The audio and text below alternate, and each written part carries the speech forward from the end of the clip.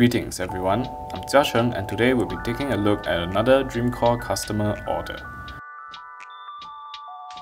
Today's build is a special request from a customer for a system in the new Jonsbo i400 Pro.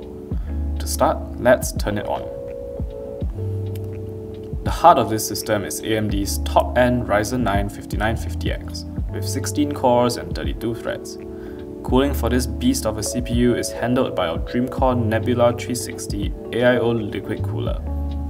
Alongside the CPU is 32GB of DDR4 3600MHz Crucial Ballistix memory installed on MSI's MEG X570 Ace motherboard. For the graphics card, our customer is using the ASUS ROG Strix RTX 3090 NVIDIA's current top-end card they call the BF GPU.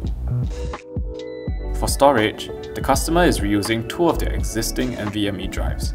That's right, if you too have drives you want to reuse or other special requests for your build, reach out to us and we'll see what we can do. Powering everything is Corsair's RM850 80 Plus Gold power supply.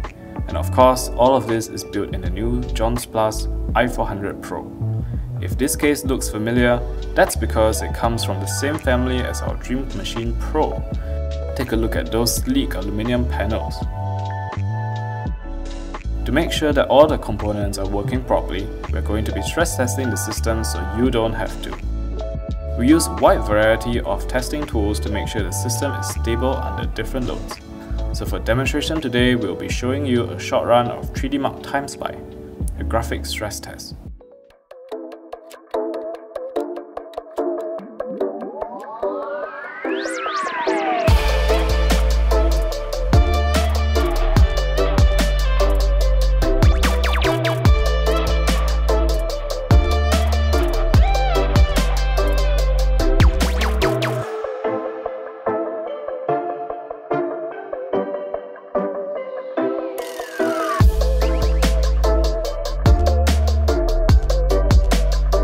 Now that we have confirmed the system is nice and stable under load, we will wrap up our testing and get ready to ship it.